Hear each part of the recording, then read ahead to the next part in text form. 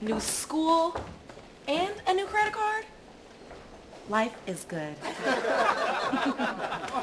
Hey there, beautiful. Oh, life was good. Hey, you want to go with me to the dance this Friday? Um, no. Well, get it. I'm smart. I dress nice. I'm a good kisser.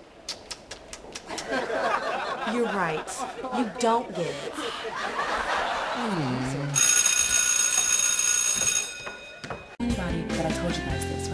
But you remember that mystery man who was running down the hall naked the other day? I heard that he got together with a certain cheerleader. Who? Cindy. Wait, wait, what else did you hear?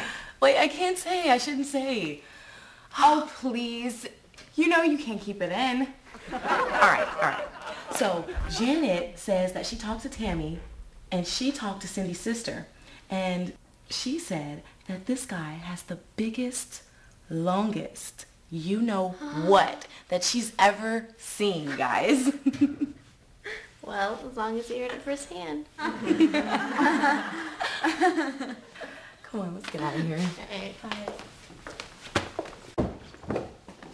Look, I already have a date, a football player. I guess I can make a deal with you, though.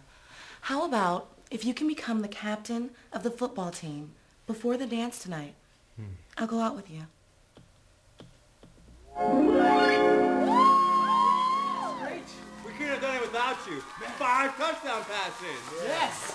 The last touchdown you threw down the field yourself? Here's my big, strong man. Now come over here and give your girl some sugar. Oh yeah. Woo!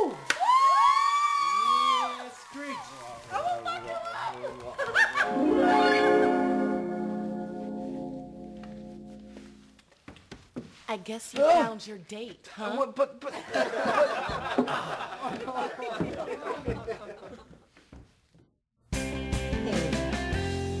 What do you mean you're sick? Who's gonna take me to the dance? Listen to me. You need to find a way to get better because I'm not going to the dance alone. Hello? Hello? Whoever it is, go away. How did you even get in here? Very funny, Screech. So you want me to believe that you're the mystery man? Mystery solved. My house tonight, 8 o'clock.